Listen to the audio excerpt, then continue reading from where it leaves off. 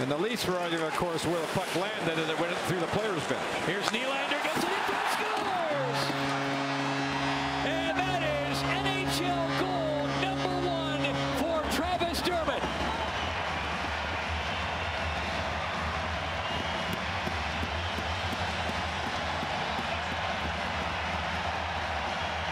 His first NHL goal in his ninth NHL game. Take a bow. Again, the Leafs gain the line. And it's Dermott. He'll turn back.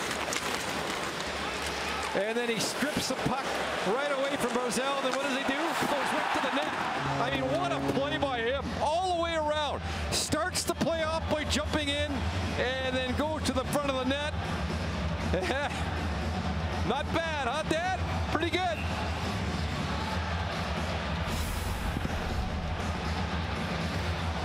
He was so happy this morning talking about his dad being on this trip.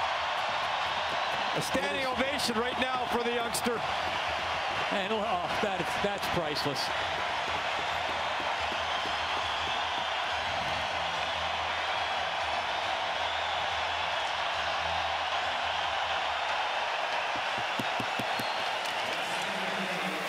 Dad and son, smiles on both faces, and uh, that's when you love sports.